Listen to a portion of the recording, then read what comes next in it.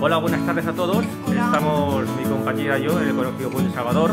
Hola, me llamo Candy. Dando servicio a la comunidad y a la residencia de ancianitos que tenemos aquí. Desde aquí la residencia de Marchena. Desde la cocina Venezuela, Palma. De momento todo ok, siguiendo los protocolos de limpieza que nos marca la empresa.